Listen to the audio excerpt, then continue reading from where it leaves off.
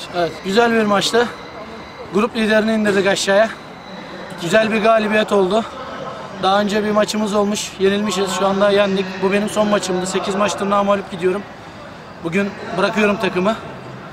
Benim jübile maçım güzel bir maç oldu. Abim bir meydan okuma yapacak. Buradan Esi Gold, Alsancak Palandöken'e meydan okuyoruz. Onları bekliyoruz haftaya. Teşekkürler her şey için.